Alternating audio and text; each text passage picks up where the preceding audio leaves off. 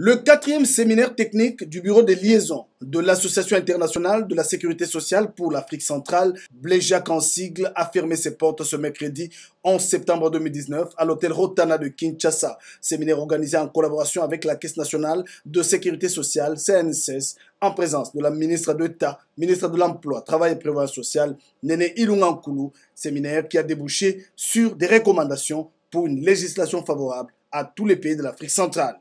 La ministre d'État, ministre de l'Emploi, Travail et Prévoyance sociale, honorable Nene Ilungankulu, a redit l'engagement du gouvernement de la République démocratique du Congo, celui d'unification des différentes législations du régime général de sécurité sociale.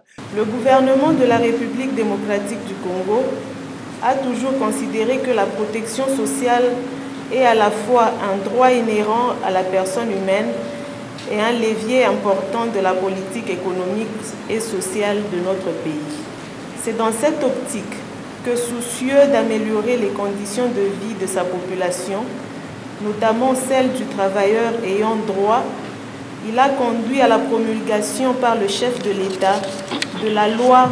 Je vous invite donc à tirer le plus grand avantage de ces diverses expériences présentées et de vous en approprier. Peu avant, deux motions de soutien et de remerciement ont été lues. L'une pour le président de la République, Félix-Antoine Tshisekedi Chilombo, pour avoir accepté d'accueillir ses assises, et l'autre à la ministre d'État, ministre de l'Emploi, Travail et Prévoyance sociale, pour les signaux forts au lendemain de sa prise de fonction. La directrice générale de la CNCS, Agnès Mouad Nawej, l'hôte des travaux de Kinshasa, a relevé l'intérêt majeur pour la République démocratique du Congo d'être en harmonie avec ce cadre légal régional pour une meilleure protection et sécurité sociale.